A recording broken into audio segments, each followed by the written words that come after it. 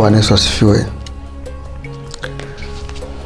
Leo tunakwenda kutazama kitabu cha Ufunuo.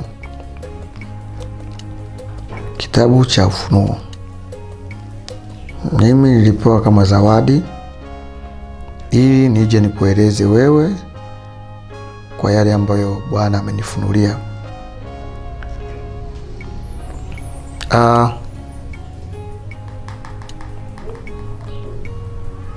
tumeona Danieli anavyozungumza kuhusu habari ya mwisho wa dunia na Ufunuo naye anazungumza hivyo hivyo. takueleza jinsi Mungu alivyotengeneza fumbo, jinsi alivyotengeneza fumbo ili wewe usipate kuelewa mpaka pale atakapofunulia wale wahusika ambao ndio mimi na wengine duniani ambao wanafunuliwa kuhusu kitabu hichi kwa uwezo wa Mungu, kwa sababu ni wakati wa mwisho. Ndio maana siri zimefunuliwa kwa uwezo wako wa akili za kibinadamu. Watu walishia tu kwamba Yesu anakuja mara ya pili ndio mwisho wa dunia, Yesu akija mara ya pili ndio mwisho wa dunia. Wengine wakasema Yesu anakuja elfu mbili na kumi na mbili elfu mbili na ishirini mwaka elfu mbili Yote ni kubahatisha kumfedhesha Mungu. Wakati ni wa mwisho, lakini watu wakashindwa kuelewa Biblia, wakaanza kubahatisha kufuata mafunuo ya uongo.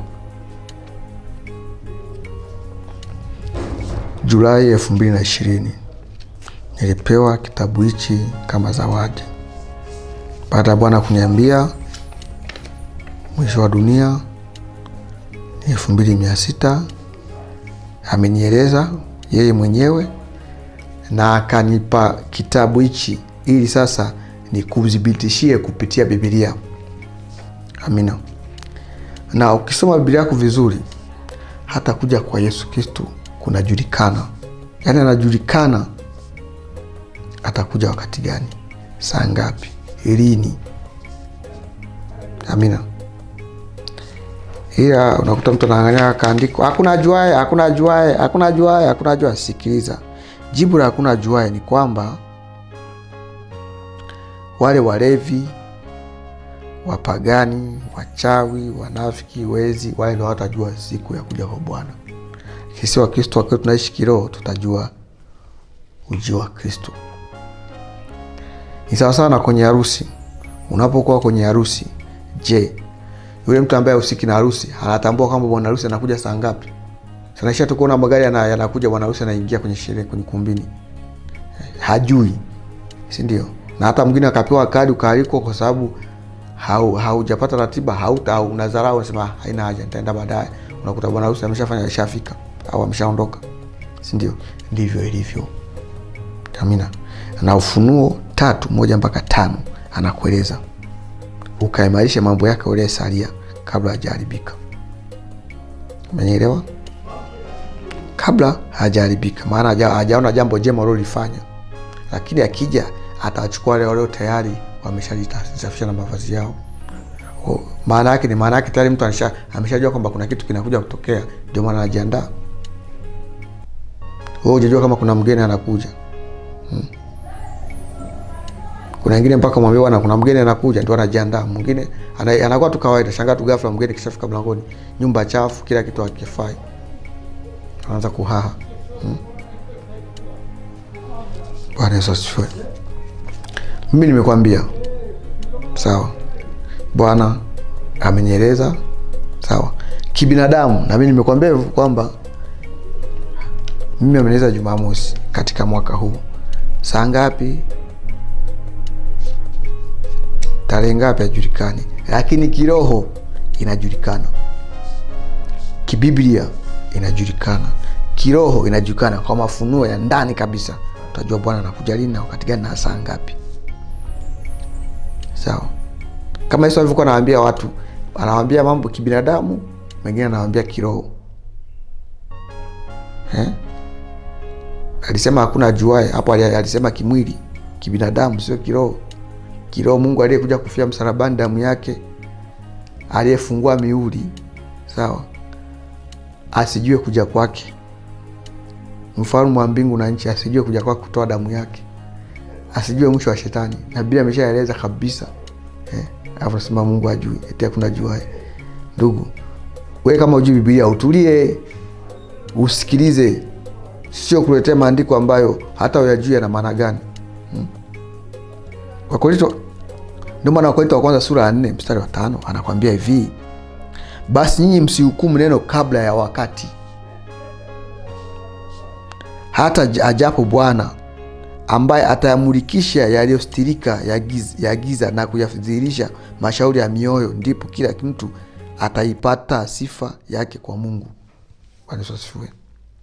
Basi nyinyi msihukumu neno kabla wakati, msiseme hakuna jua hakuna jaa, wakati andiko amlijui wakati hamjajua kwamba Mungu ana watu wake maalum kwa kazi maalum. Kila mtu amekuja kwa kazi maalum. Mimi nimekuja kukufunulia kitabu cha Ufunuo juu ya mambo hayo, sawa, juu ya andiko hilo. Ndio maana aliponijia akaniambia, usinieleza hilo andiko watu wanavyotumia vibaya, na ni wengi wanatumia vibaya wachungaji kwambia hakuna jua. Sio kwamba hakuna jua, umeshindwa kukifahamu kitabu cha Ufunuo na, na Danieli kwa sababu kimefungwa, lakini kishafunguliwa ili andiko lako hili ndo nakuelezea, niko wapagani walevi. Na ukija kwa sababu kitabu cha Ufunuo kimefunua, ukija kusoma ukiwa kiroho zaidi utajua mpaka wakati. Umeona wanawali? Wamebeba taa zao, wakabeba na akiba, wakasema leo tunakesha, wakabeba akiba. Wale wasio wanaopuzia wakaenda, lakini wakasahau nini? Hakubeba akiba. Nini kitokea? Yote ni mifano Mungu anawaeleza kwamba watu watajua. Sasa wale wanawali, nani aliwaambia waende wakakeshe na wakakeshe na taa na taa mchana kutu, usiku kucha? Bwana asifiwe. Yesu anakuja, sehemu zingine ni usiku, sehemu nyingine ni mchana, kama unavyoona duniani. Nchi nyingine ni usiku, nchi nyingine ni mchana. Tuishie hapo, twende kwenye kitabu cha Ufunuo sasa. Hiyo nimekupa tu kitu ambacho nataka kuja kueleza kuhusu ujio wa Kristo. Uh, twende kwenye kitabu cha Ufunuo, Ufunuo moja mpaka Ufunuo nne. Sawa, Ufunuo moja mpaka Ufunuo nne. Ufunuo moja mstari wa kumi na moja na wa kumi na mbili tunapata kwenye Ufunuo mbili mstari wa pili. Sawa. Ufunuo moja kumi na sita tunapata kwenye Ufunuo tatu. Ufunuo tatu tunapata kwenye Matayo. Sawa, Matayo ngapi? Pale anaposema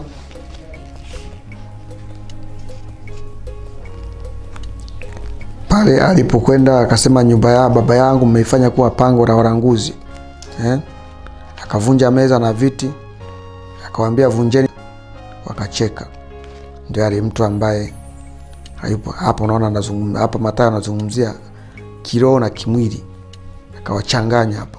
Alivyokufa akafa, siku ya tatu akafuka, ndo akajua kumbe anazungumzia habari ya mwili, sio hili jengo, lakini vyote ameongea jengo pamoja na mwili jumla eh. Amina. Mstari wa kumi na moja na kumi na mbili anasema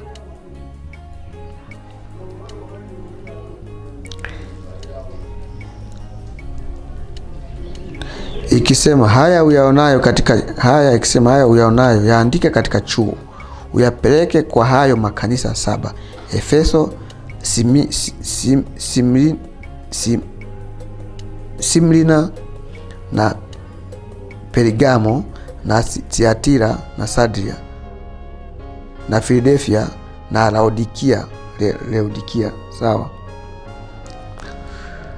Nikageuka niliona ile sauti iliyosema nami, na ilipogeuka niliona vinara vya staa saba vya dhahabu. Bwana Yesu asifiwe. Nenda kwa makanisa saba. Kanisa hapa anazungumzia makanisa saba, sawa.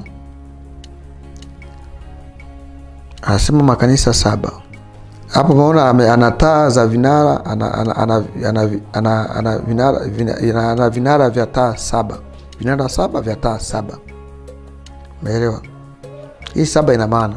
Alafu chini anasema siri ya zile nyota saba ulizoziona katika mkono wa, wangu wa kuume, siri ya zile nyota saba ya vile vinara saba vya dhahabu. Zile nyota saba ni malaika wa yale makanisa saba, na vile vinara saba ni makanisa saba. Umeona, amwambia apeleka kwenye makanisa saba.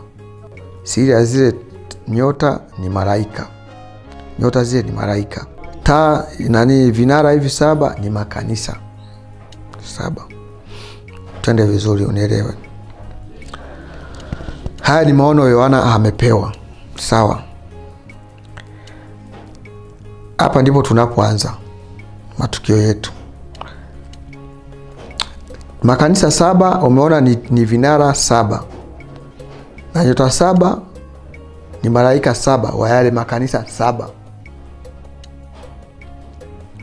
Nilishai kukwambia Mungu ana roho saba, roho saba za Mungu zinaishi na sasa wakati wa mwisho ametuma roho zake zote saba kwa wanadamu. Haya makanisa saba ukiyafunua, ukiyafunua ndani, sawa, unakuja kugundua kanisa hili hapa. Mwanzo hapa anasema makanisa.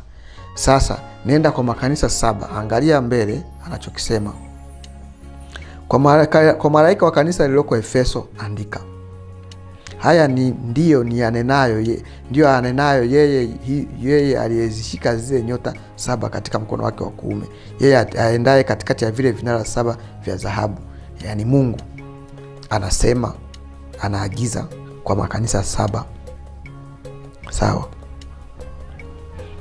Nayajua matendo yako na subira yako, nayajua matendo yako na tabu yako na subira yako, na yakuwa hu, ya, na yakuwa hu, kuwa huwezi kuchukulia na watu wabaya, tena umewajaribu wale wajitao mitume na sio, ukaona kuwa ni waongo. Tena ulikuwa na subira na kuvumilia kwa ajili ya jina langu, wala hukuchoka.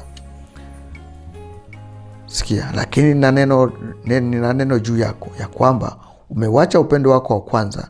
Basi kumbuka ni wapi ulipoanguka, ukatubu, ukayafanye matendo yako kwanza ya kwanza. Lakini usipofanya hivyo, naja kwako nami nitakiondoa kinara chako katika mahali pake usipotubu. Bwana asifiwe. Umeona, nimekwambia neno moja Biblia lina maana saba, kama roho saba za Mungu zinavyoishi. Sikia tena, unisikie kweli kweli, unisikilize vizuri. Amezungumza vinara saba, makanisa saba na nyota saba. Ukija Ufunuo mbili anasema nayajua matendo yako na taabu yako na subira yako na, na, na ya kuwa huwezi kuchukulia na watu wabaya, tena umejaribu ume, ume, umewajaribu wale wajitao mitume na, na sio, ukaona kuwa ni waongo. Hapa anazungumzia wewe sasa, hazungumzi tena kanisa kama ulivyosikia, anazungumzia nani? Mtu. Sawa, ukishuka chini huku anatema tena, ulikuwa unasubiri na kuvumilia kwa ajili ya jina langu, wala ukuchoka. Lakini na neno la ya juu yako ya kwamba umechukua upendo, yani umeuacha upendo wako wa kwanza. Basi kumbuke ni wapi ulipoanguka, ukatubu. Ni kanisa au ni mtu? Ni mtu, ni wewe. Lakini kabla ijaja kwako, huyu anayezungumzwa hapa ni nabii wa Mungu, ni mtumishi wa Mungu aliyepakwa mafuta aliyesimama katika neno la Sadria, aliyesimama katika neno la Efeso. Yaani anaposema makanisa saba, nyota saba, malaika saba, maana yake saba za Mungu ambayo ameziweka kwa watumishi wake manabii saba ambao amewatuma duniani. Mimi leo nakuelezea habari hizi. Kuna mwingine tena atakuelezea habari kama hizi hizi kuna mwingine tena atakuelezea habari kama hizi hizi, yaani manabii saba kutoka sehemu tofauti ya dunia. Ndio maana kuweka makanisa saba. Leo niko hapa na kualizia. Kuna mwingine atatokea Australia, kuna mwingine atatokea Marekani, kuna mwingine atatokea China, atakueleza hichi nachokueleza, lakini yeye kwa namna yake na wengine kwa namna yake. Amina, umeelewa? Kwa hiyo hapa anazungumzia hawa mitume saba waliokuwa na roho ya Mungu ndani yake aliowatuma. Kwa hiyo unapoona mtu anashuhudia mambo makubwa na mazito, unajua ni nani? Magumu kama haya, nilikwambia mi natambua mi ni nani ila kwa sasa sitakwambia. Ujue mpaka nafunuliwa hivi vitabu maana nimekuja kwa ajili ya kazi hii. Mpaka nafunuliwa kitabu hichi. Sawa. Vitabu vyote hivi ambavyo ni vigumu miaka yote. Na kueleza mwanake inajua mimi ni nani? Nilishaambiwa na bwana. Sikia yesu anaposema mtu anaambia miaka elfu mbili mia sita naona ni mingi midogo mingi sana. Kibinadamu ni mikioni michache. Yesu anapokwambia nitakuja kesho yesu anaposema ninakuja kesho ana maana kwamba siku ya kwanza ile miaka elfu moja kwa, kwa mwanadamu ambao ni siku moja kwa mungu inaisha. Ikiingia siku ya pili yuko mlangoni kunyakuwa kanisa. Tuendelee anazungumzia kabisa anazungumzia watumishi wake saba maalum. Aliweka roho zake saba ili kuwafunua watu na kueleza watu siri za mungu. Anasema tena ukija tena mara ya pili kwenye ile andiko ndo linakuhusu wewe sasa. Amina? Linakuhusu wewe mwanadamu. Wewe Mungu ukiachana na mtumishi wa mungu inakuhusu wewe. Pana manabii wametumwa ili kuwafikishia nyinyi. Mbona yohana aliambiwaje yohana ni nabii wa mungu. Aliambiwa peleka kwa nani? Kwa makanisa saba ya efeso. Hapa kwa peleka kwa watu wa mungu. Amina. Yaani kupeleka kwa, mara, kwa makanisa saba. Yaani kupeleka kwa manabii saba wa mungu ambao watakao kuja mwishoni. Sawa. Ambao ndio sisi. Sawa.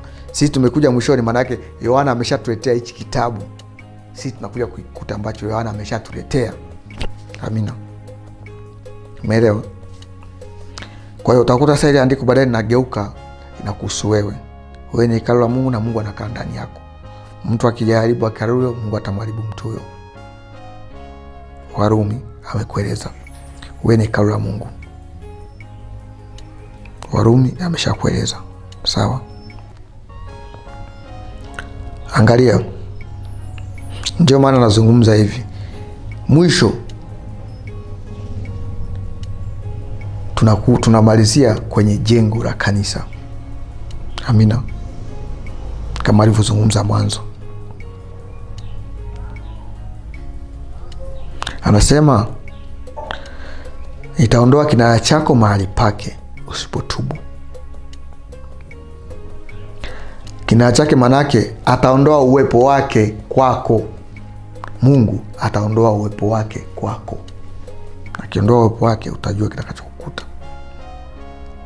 Anasema utubu. Kwa nini? Kwa sababu tunajua hawa watumishi wa mungu saba waliokuja katika dunia kabla wajajitambua walikuwa wanafanya dhambi.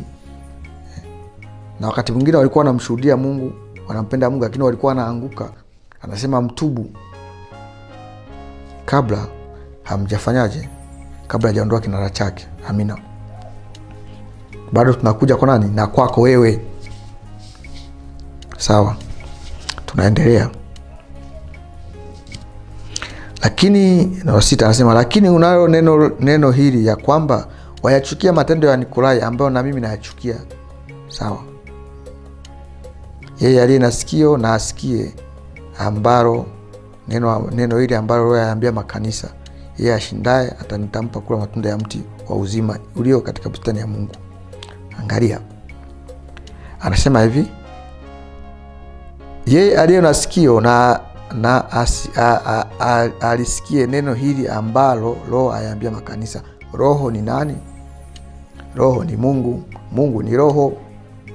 Mungu ni roho. Ndio roho kweli ambayo ulimwengu hawezi kumpokea wala umtambui.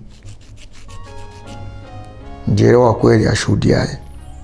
Kasome yohana tano saba yohana waraka wa kwanza wa yohana tano saba kasome yohana kumi na nne. Na kasome yohana nne ishiri na nne. Mungu ni roho. Amina. Ndio anawaambia mwenye masikio na asikie. Anasema najua unayachukia matendo ya nikorai ambayo na mimi nayachukia. Najua unachukia uchawi. Unachukia dhambi ambayo mungu anaichukia. Sawa. Anajua yote unawachukia kwa sababu amepanda kitu ndani yako. Anajua ipendi zambi unaichukia zambi Nasema yeye ashindaye itampa kula matinda, matunda ya mti wa uzima ulio katika bustani ya Mungu. Maanake wewe utakayeshinda, sio kushinda, sio mpaka ufe. Mm-mm. Kuna mapito mengi ambayo unakutana duniani mwanadamu, ukayashinda, utakaa kwenye bustani ya Mungu, utakula mti ya uzima, utakula matunda ya mti ya uzima. Angalia anapozungumza hapa, yeye ashindaye nitampa kula matunda ya mti ya uzima. Ukisoma Ufunuo, ukishuka chini, kila kanisa anaambiwa wewe utakishinda utakaa kwenye bustani ya Mungu wangu, jina lake litakaa kwenye mstari wa mguu wangu, wala litakutoka humo. Anasema au ukishinda, ukishinda nitakupa ile mamlaka ambayo Baba mimi alinipa kuwachunga mataifa kwa fimbo ya chuma. Ina maana hawa ni watu, ni manabii saba ambao ameweka roho zake, Mungu ameweka roho zake juu yao, na anawaambia mkishinda, kwa sababu kuna mapito ya kibinadamu, anaambiwa mtubu, mkishinda wewe kutokana na yani, roho saba za Mungu ziko kwa mitume wake, lakini kila mtu ana mapito yake na majaribu yake. Nakwambia ukishinda nitakuweka kwenye kalo la Mungu wangu, ukishinda nitakupa matunda ya mti uzima, ukishinda nitakupa ile mamlaka ambayo Baba amenipa kuwachunga mataifa kwa fimbo ya chuma. Mbona ni watumishi wa Mungu hao, lakini baadaye ile andiko linarudi linarudi kwa wewe mtu wa kawaida. Yani Mungu anashusha roho yake kwa manabii saba, alafu manabii saba wanatoa kitu wanatoa neno la Mungu kutoka kwa Mungu juu ya watu wengine, yaani ngazi kwa ngazi, kisha kwenye kanisa. Ukirudi nyuma, kanisa tayari ni wewe mwenyewe. Amina, tunaendelea, utakuwa umenaelewa Hiki ni kitabu cha Ufunuo. Mungu anazungumzia haya yote haya juu ya watu wa Mungu, umeelewa? Na Yohana ameambiwa, ameonyeshwa mambo ambayo yalikuwepo nyuma kabla yake na yaliyopo kwao kipindi chao na atakayotokea wakati wa mwisho, wakati huu wa kwetu. Tunaendelea. Amina. Ujumbe kwa Simrina anasema, na kwa malaika kanisa lililoko Sim, sim, simlin, Simlina andika, haya ndiyo anenayo yeye aliye na wa, aliye wa kwanza na wa mwisho. Umeelewa? Mungu hapa amekwambiaje? Yeye aliye nasikia na asikie neno hili ambalo Roho ayaambia makanisa. Mungu huyo. Alafu hapa anakwambiaje? Akule juu amesema aliyeshika anasema huyo aliyenena yeye azishikaye zile nyota. Hapa amekwambia hivyo, yeye roho hiyo roho aliyeambia makanisa. Hapa anasema aliye wa kwanza na wa mwisho, aliye aliyekuwa amekufa kisha akawa hai. Ni nani huyo? Ni Yesu, si ndio? Ni Yesu aliyekufa kisha akawa hai. Haya ni mafumbo ambayo Mungu ametengeneza, amefanya maandiko hivi, amegeuza hivi ili kuchanganya mwanadamu usielewe kwamba ni mafumbo, ili mpaka wakati wa mwisho yeye mwenyewe atakuja kumwelekeza mtu maalum kwamba hapa pana maana hii na hii, pako hivi, pako hivi, pako hivi, pako hivi. Hata wewe,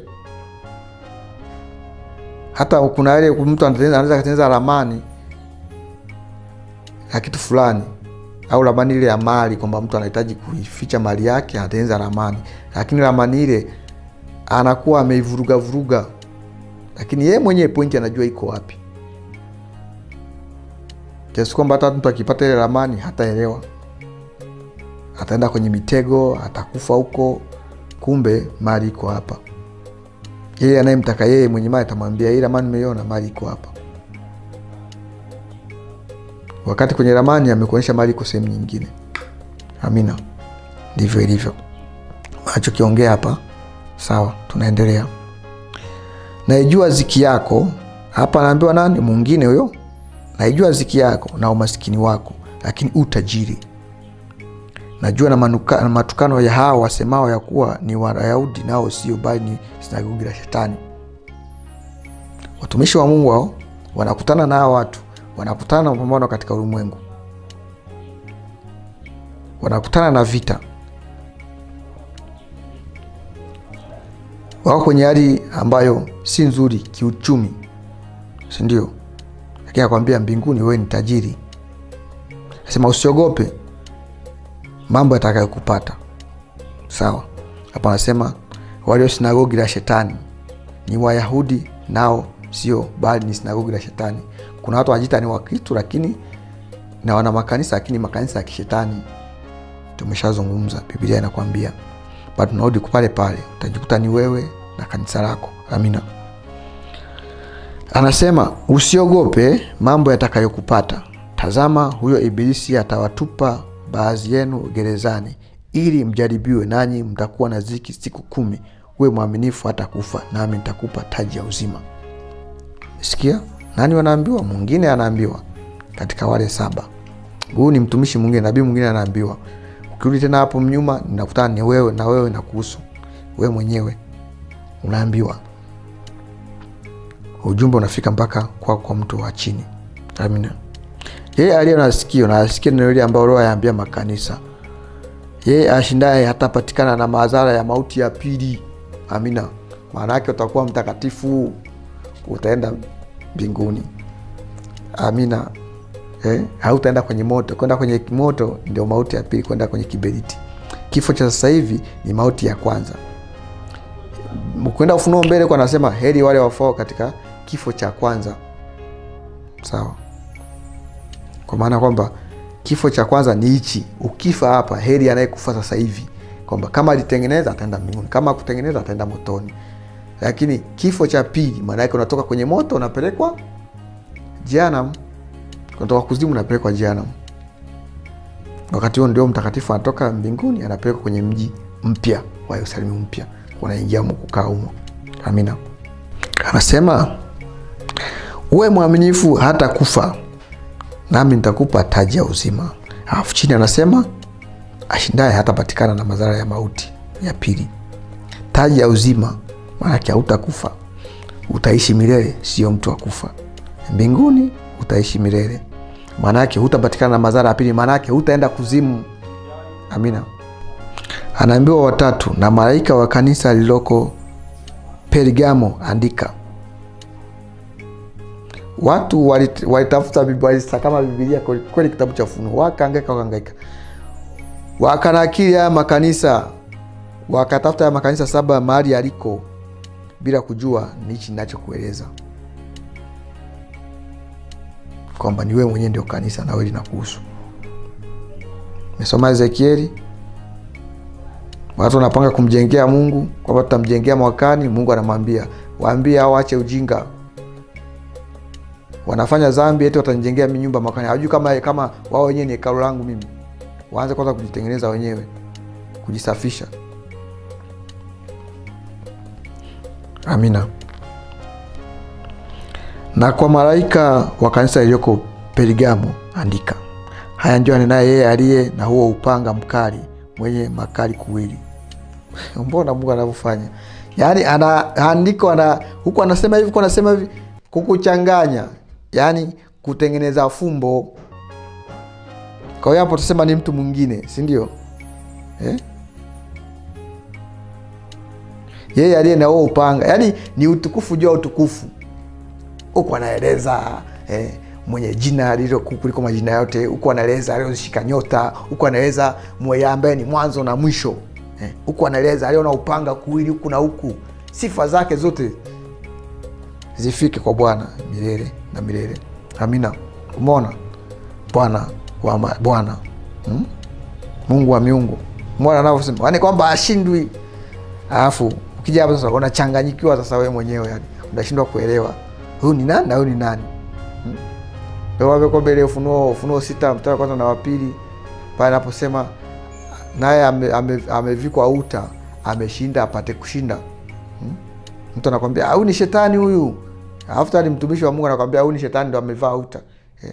Ushakusikia shetani amevaa ule nani ule upinde wa mvua ule shetani anakuaga nao anakuaga nao kichwani si utukufu wa mungu. Utukufu na utukufu unakuwa mkubwa mpaka unaonekana kama ni nini? Ni upinde ule upinde wa mvua. Mtu anataka yani mtu anataka ya- yani kwamba mtu anataka kwamba pale alipoandika ufunuo 19 11 na 14 pale anashuka na jeshi la malaika yeye ana jina lile kuliko majina yote. Yeye ni uzima eh? ndio anajua kwamba ni yesu. Kumbe ufunuo sita na yeye ni yesu huyo huyo ila lilikuwa limefungwa. Amina. Tutafika huko kote sawa angalia. Na pajua ukaapo ndipo penye kiti cha enzi cha shetani. Nawe walishika sana jina langu wala hukana imani yangu. Hata katika siku za antipa shahidi wangu mwaminifu wangu aliyeuawa katikati kati yenu hapo akaapo shetani. Bwana yesu asifiwe. Duniani hapo ulipo ulimwenguni duniani. Sawa. Yote natuhusu sisi yaani maelezo ya kanisa la kwanza kanisa la pili kanisa la tatu lote linakuhusu wewe mwenyewe. Mtu huyu mmoja. Roho saba za mungu zinakuhusu wewe mwanadamu. Vyote vinakuhusu wewe. Ila mungu ameweka tofauti tofauti kwamba kuna mwafrika kuna mchina kuna mwamerika kuna mbrazili. Wote wanashuhudia jambo hilo hilo moja katika ulimwengu mzima. Sawa lakini si kwamba anachoshuhudia yule wa mexico ni tofauti na cha huyu au wewe kile cha mexico akikuhusu hiki cha huku ndo kinakuhusu. Vyote vinakuhusu. Amina.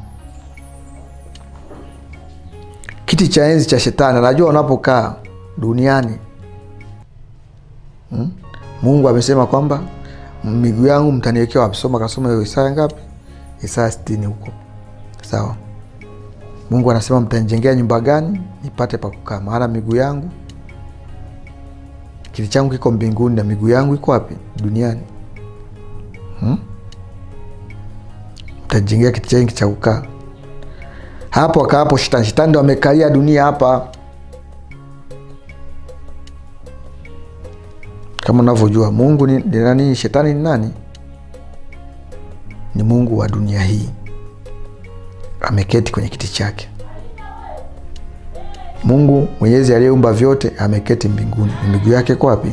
Chini duniani. Amina. Anasema hivi sikia. Lakini unayo maneno machache juu yako. Kwa kuwa unao huko watu washikao mafundisho ya balamu yeye aliyefundisha baraki atie ukwazo mbele ya waisraeli kwamba wa vile vitu vilivyotolewa sadaka kwa sanamu na kuzini. Bwana yesu asifiwe. Anakwambia umekaa kwenye kiti cha enzi cha shetani. Sawa. Najua uvumilivu wako na uaminifu wako kwa hali ulionayo maana yake unapambana sana hapo ulipo. Lakini anakwambia hivi pamoja na kupambana kwako kuna watu ambao wanamfata shetani na kumwabudu shetani hapo hapo ulipo. Kuna makanisa ya uongo kuna dini za uongo. Sawa ambao wanatoa sadaka kwa sanamu. Wanaabudu masanamu. Sio? Na kuzini. Maanake kumwacha mungu wako kaabudu sanamu maanake umefanya ni umefanya uasherati umezini. Juu ya mungu wako. Lakini bado vile vya watu kama wanaabudu masanamu ni wazinzi tu katika mili yao. Wanaharibu hekalu la mungu. Anakwambia hawa watu unao wapo sasa anasema na vile vile wewe uwe nao hivyo hivyo nao, na wewe nawe unao watu wa hayo watu wayashikao mafundisho ya wako- wa nikolai. Vile vile. Mafundisho ya kinini ya kichawi ya uongo. Sawa. Basi tubu. Asipotubu naja kwako upesi nami nitafanya vita juu yako kwa huo upanga wa kinywa changu umekaa kwenye kiti cha enzi cha shetani duniani upo duniani watu wanafanya dhambi wanatenda maovu japokuwa wewe ni mwaminifu na mvumilivu kwa mungu wako sindio lakini kuna watu waovu wanaabudu masanamu. Huku waambia waache hiyo dhambi huku wahubiria huku waambia watubu. Anasema utubu. Kwa nini? Hujasema. Hujawasema hujawahubiria watu hujawaeleza watu kuhusu uzinzi na uasherati wanaofanya na kuabudu masanamu wanakokufanya. Sawa? Asema ukija akija atakufanya anavyojua. Piga upanga. Jua upanga wa roho upanga wa mungu. Bwana yesu asifiwe. Hiyo ni ufunuo mbili tunaendelea. Yeye aliyo na sikio na asikie neno hili ambalo roho ayaambia makanisa. Yeye ashindaye nitampa baadhi ya ile mana iliyofichwa nami nitampa jiwe jeupe na juu ya jiwe hilo limeandikwa jina jipya lisiyojulikana asilolijua mtu ila yeye aliyelipokea. Amina. Bwana yesu asifiwe. Eh? utapewa nini? Maana iliyofichwa na utapewa jiwe jeupe lililoandikwa jina ambalo nalijua yeye mwenyewe anayolipokea eh? tuna majina duniani lakini mbinguni tuna majina yetu mapya. Yapo. Kama unavyoona yesu ana jina lililoandikwa ambalo hajui mtu yoyote isipokuwa yeye mwenyewe. Yesu mwenyewe. Sawa. Amina. Hata sisi tunayo. Huyu ni nani? Huyu ni pergamo amina.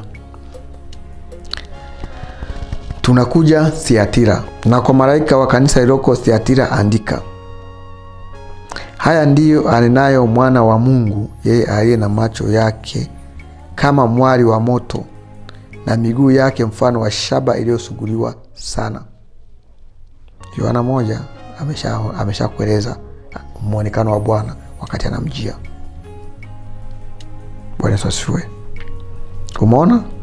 Jinsi mungu anavyofanya. Jinsi anavyoweka maandiko. Amina. Tutafika mpaka ufunuo mwisho. Kitabu cha ufunuo mwisho kabisa. Na yajua matendo yako na upendo na imani na huduma ya subira yako. Tena kwamba matendo yako ya mwisho yamezidi yale ya kwanza. Amina. Lakini na neno juu yako ya kwamba wamzia yule mwanamke yezebeli yeye ajiitaye nabii na kuwafundisha watumishi wangu na kuwapoteza ili wazini na kula vilivyo vitu vilivyotolewa sadaka kwa sanamu. Nami nimempa muda ili atubu wala hataki kutubu kutubia uzinzi wake.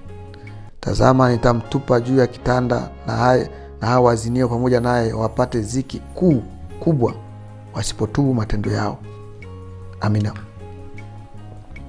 lakini na neno juu yako ya kwamba wamlizia yule mwanamke yezebeli.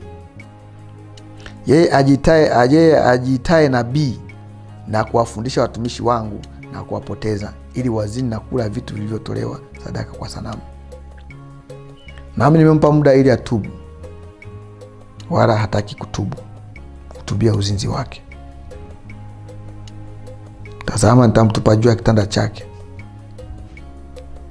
na waliozini naye pamoja naye wapate mziki kubwa wasipotubu matendo yao. Nami nitaua watoto wake kwa mauti na, na makanisa yote watajua kwamba ya kuwa mimi ndimi ndiye achunguzaye viuno na mioyo nami nitampa kila mmoja wenu kwa kadri ya matendo yake. Bwana asifiwe.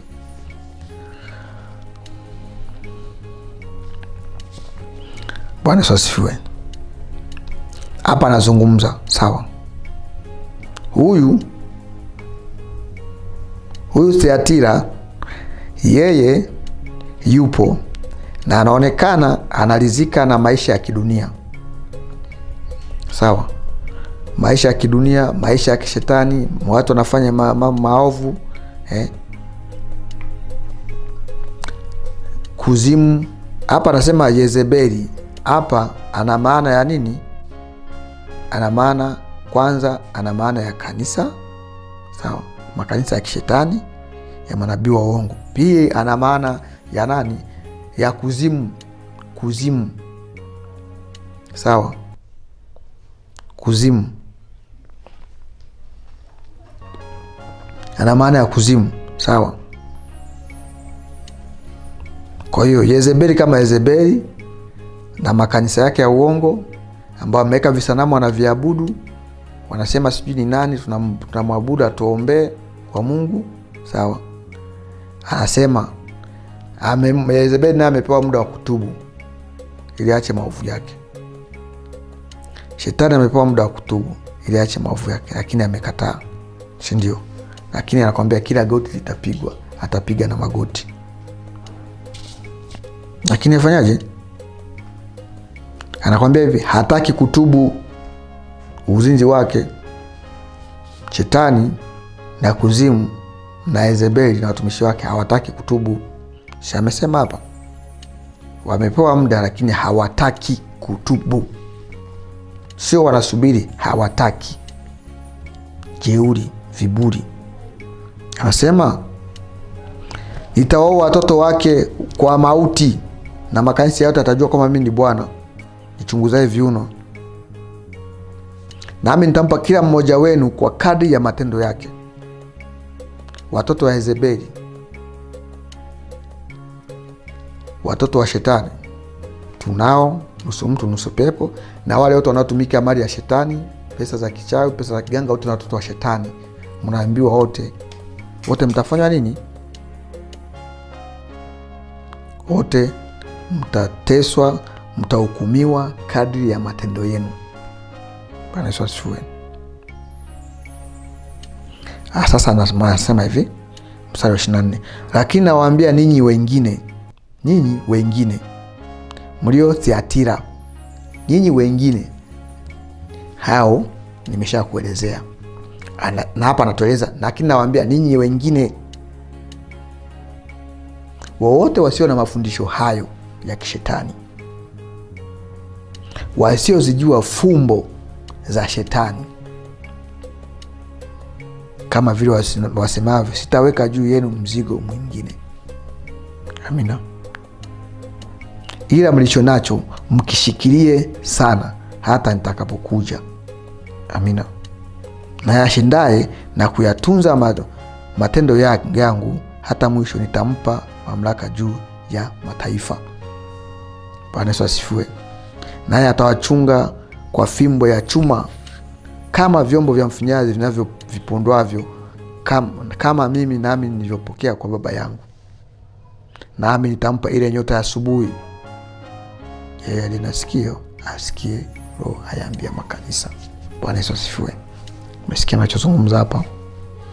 Anasema, na nyinyi wengine mlioko Thiatira, msio na mafundisho hayo, msiofata mambo ya Shetani, nyinyi Wakristo ambao mnamtafuta Mungu kwa bidii, mnamwomba Mungu, anasema sitaweka juu yenu mzigo mwingine kama mlivyosikia. Yaani hamtahukumiwa mateso, jehanamu, kuzimu kama mlivyosikia habari ya utakatifu habari ya uzima wa milele.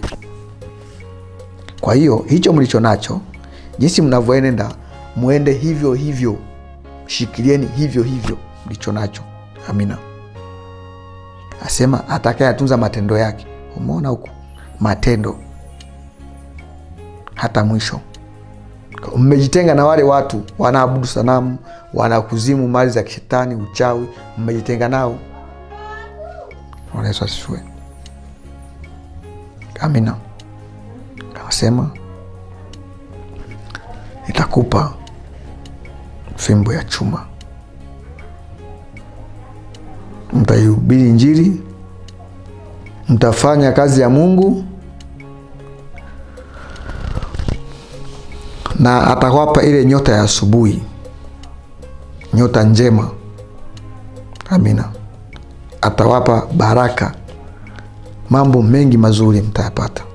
Bwana. Nasema hivi, na kwa malaika wa kanisa lililoko Sadria andika. Tutaishia hapa kwa Sadria. Haya ndiyo anenaye yeye aliye na zile roho saba za Mungu. Umesikia?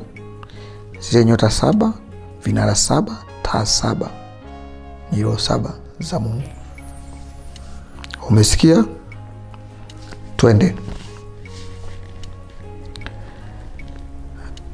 Roho saba za Mungu na zile nyota saba, nayajua matendo yako, ya kuwa una jina la kuwa hai, nawe umekufa.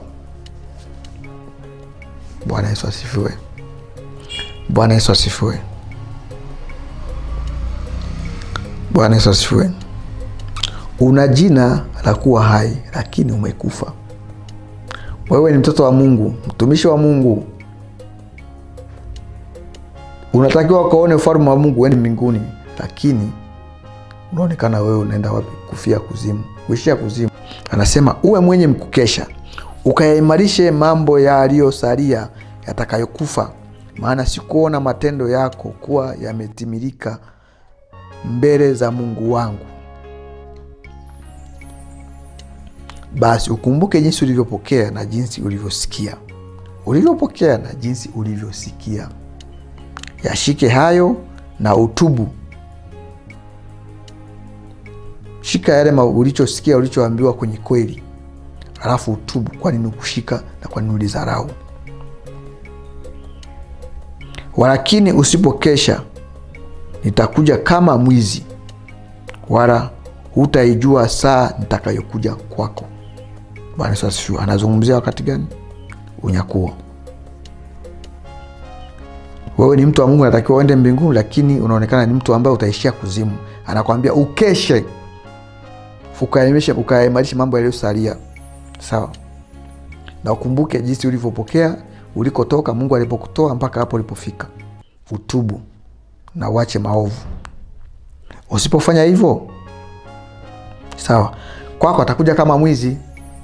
Kwa sababu utakuwa ni mpagani utakuwa ni mlevi utakuwa ni mchawi utakuwa ni mtu wa hovyo. Kwa hiyo kwako atakuwa kama atakuja kama mwizi yaani wewe kwako huwezi kujua habari yote ya kristo wala huwezi kujua kujiandaa kwako. Atakuja kama mwizi. Yaani kwako hata hana taarifa kwako. We umelala kama mwizi anavyokuja ukiwa umelala hujui.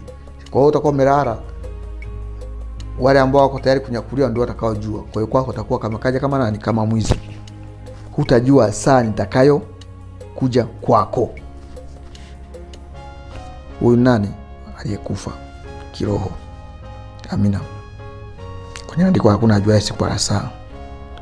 Kazi iko hapa mnaona? Nachokizungumza. Lakini unayo majina machache katika sadria. Watu wasioyatia mavazi yao uchafu. Nao watakwenda pamoja nami. Hali wamevaa mavazi meupe kwa kuwa wamestahili. Kwa hiyo anapokuja kunyakua kanisa lake. Kanisa lake. Hizi jumbe zote nimekwambia jumbe zote zinatumwa na, na, na watumishi wa mungu saba. Na jumbe zote zinakuhusu kutoka hapa unapoona. Kwa huu ni ujumbe kuhusu habari ya kunyakua kanisa kunyakuliwa. Waliokuwa na anasema lakini unayo majina machache yaani watu wachache ambao hawajajichafua wamejisafisha nao watakwenda pamoja na nani? Pamoja na bwana. Wakiwa na mavazi yao meupe kwa sababu wamestahili. Amina.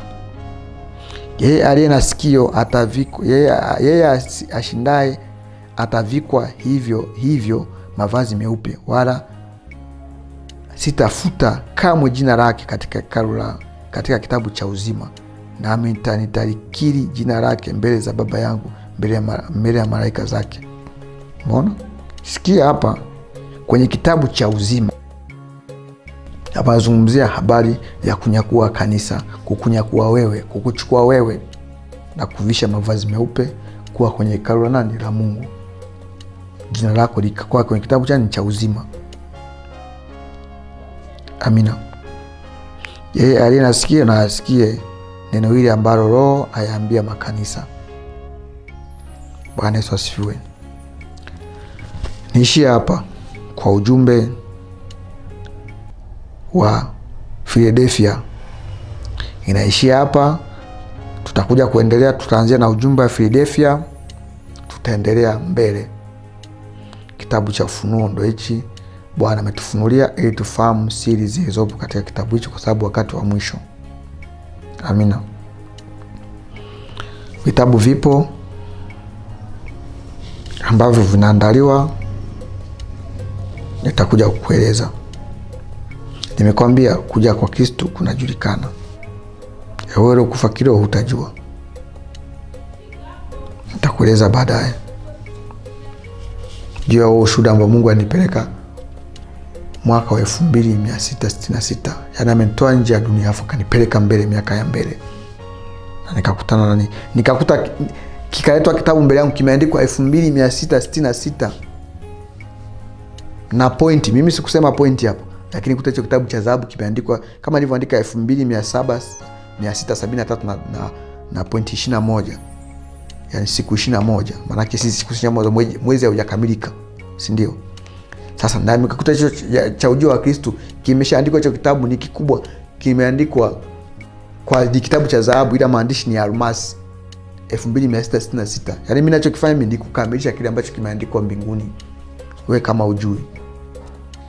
Endelea kuzara hivyo hivyo na kujitumainia ubatili. Kwa mimi nimekuja kukamilisha hichi kitabu cha ujio wa kristo ambacho kiko mbinguni.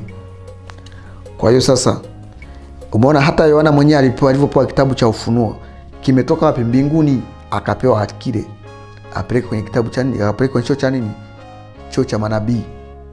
Kwa hiyo sisi tunakamilisha kitu ambacho kiko mbinguni tunakileta na kukikamilisha. Kwa bwana alinipeleka huo mwaka na nikaona kitabu mi nimesema elfu mbili yesu anakuja elfu mbili na sita lakini hicho kitabu nikuta kimeandikwa na pointi. Ni pointi ngapi? Subiri. Itakapokuja kuelezea habari hiyo kuja kufunulia mafumbo ya kitabu cha danieli ya kitabu cha ufunuo. Nikufunulie mpaka uelewe. Yaani hivi navyosoma hivi nitakufunulia mafumbo hayo jinsi yalivyotengenezwa jinsi yalivyowekwa. Alafu utaelewa alafu kisha tutakuja sasa kuona sasa siri iliyopo nyuma yake na kile kitabu ambacho ilikuwa nimekiona. Amina. Mungu akubariki sana. Uwe na siku njema katika jina la yesu. Amina. Asante sana